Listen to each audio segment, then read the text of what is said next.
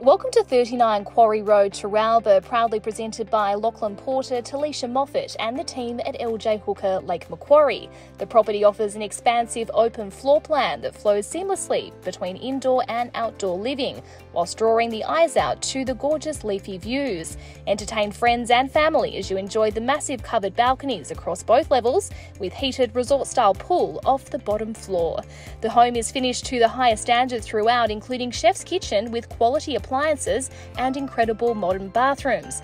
Five well appointed bedrooms are sure to accommodate the family, including the master with a huge walk in wardrobe plus full bathroom ensuite. Good luck to our registered bidders.